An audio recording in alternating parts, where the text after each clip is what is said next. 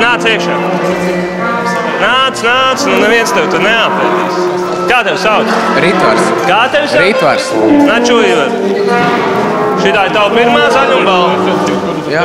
Pirmā haldūra. Jā. Ja? Mūsu iepriekšējais tubists vakar aizpirka projām, tāpēc arī tev paņēma. Ņem krāslu un nāc sēdi. Tu vispār iepūst vari? Mēģināšu. Mēģināšu. Šitā. Tāds mazs puļš, varbūt tās puļš.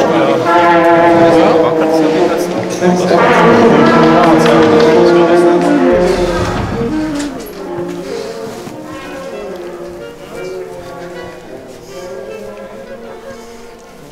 atvainojos, vai būtu iespējams, ka jūs nākamā skaņdarba laikā mēs kopistiski, kopīgi vienotos vienā Nē, skaistā... vecēši te tās lietas neies paklausīs.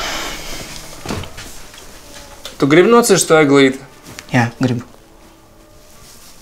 Atceries, divas lietas - attieksme un aksesuārs. Attieksme un aksesuārs. Jā. Skaties!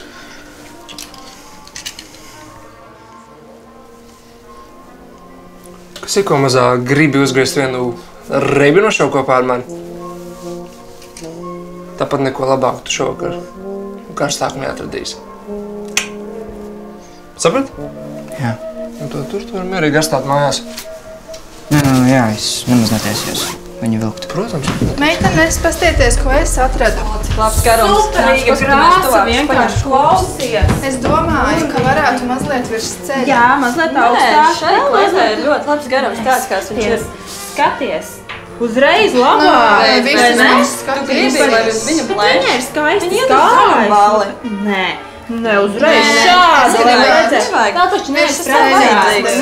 Nu. Skatīsies šeit, tā kā būs precējies. Bet ko viņi visu... Pastēties šāds variants. Nē, atradu vēl labāk. laba krāsa. Šos vārtuņus skaties. Cik? 15. Nedara 20 vajadzētu. Bufete, bufete pilnā bez alka, bez stiprajiem. Mējas jau mums laikam ir pāriedarusies. Ā, Cik to mēju jācēt? Tagad tu prasi tikai par mējām, viņām jābūt jau bijuši sen atvestām. Kā jau parasti vajag, stāvos pie durvīm iekšā zālē stūros. Visur tur, kur bija bijis, tur ir bijis tās mējas. Tu domā, ka es jau te pa tevīm kopā staigāšu žagars skaitīšu pa stāviem? Viss pietiek. Tu, tu liekas, ka man ko darīt nav?